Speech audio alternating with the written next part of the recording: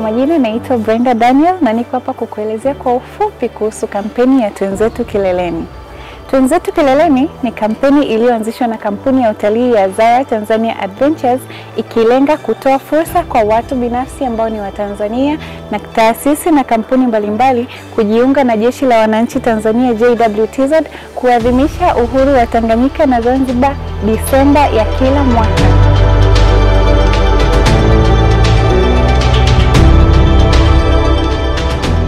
Twenzetu Kileleni ilianzishwa kwa malengo mbalimbali mbali, ikiwemo kukuza utalii wa ndani ya nchi, kutoa fursa kwa Watanzania binafsi na kwa makampuni na taasisi mbalimbali kujiunga na Jeshi la Wananchi Tanzania kwenda kusimika bendera ya taifa hiyo siku ya kuadhimisha uhuru kwenye kilele cha mlima Kilimanjaro. Vilevile, kampeni hii ilianzishwa mahususi kwa ajili ya kutangaza kampeni ya Royal Tour iliyoanzishwa na mama yetu Rais Samia Suluhu Hassan kwa lengo lile lile la kutangaza utalii wa ndani na nje ya nchi.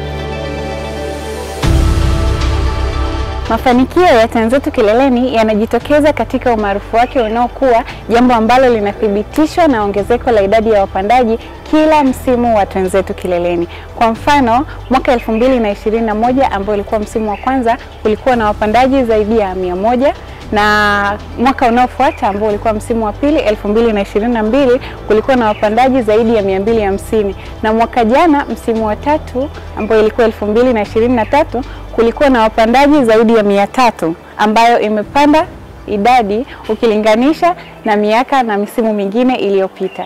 Ilijumuishwa na mabalozi mbalimbali na kampuni mbalimbali. Mabalozi hao walikuwa ni pamoja na Elizabeth Komba, Humphrey Polepole, Mohamed Abdalla, Ali J Mwadini, Mheshimiwa Justus Nyamanga, Mheshimiwa Mahadhi Maalim, Mheshimiwa Adelaidus Kilangi, Mheshimiwa Baraka Luvanda na Mheshimiwa Aziz Mlima.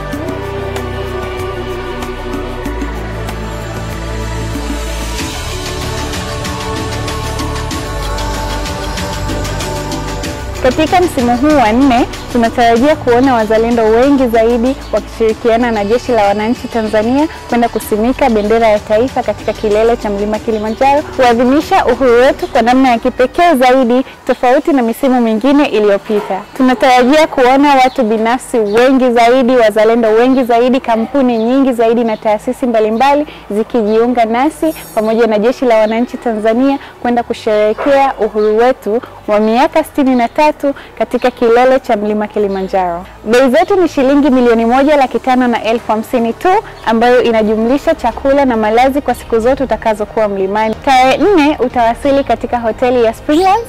Tarehe tano tutaanza safari yetu kupitia geti la Marangu. Tarehe tisa Disemba itatukuta katika kilele cha mlima Kilimanjaro kisha tutashuka kwenda kusherehekea siku hiyo ya uhuru katika geti la Marangu. Twenzetu Kileleni, nyote mnakaribishwa, twende kufungamanisha ujasiri na fahari ya nchi yetu. Karibuni sana.